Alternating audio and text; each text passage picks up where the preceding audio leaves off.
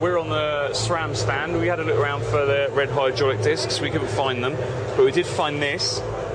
This is the uh, SRAM Automatix hub gear. It's two speed and it has a centrifugal clutch inside. So you start off in the low gear, and as soon as you reach a certain speed, it switches to the high gear. It's very simple uh, and uh, very effective, I would think. They also use this as part of an e-bike system, so they have this technology within a hub motor, which means you've got a low gear for starting off from the lights with with, with the power, and then when you come to a, a certain speed, you'll uh, you'll get the second gear to help you cruise along. So yeah, clever little bit of kit.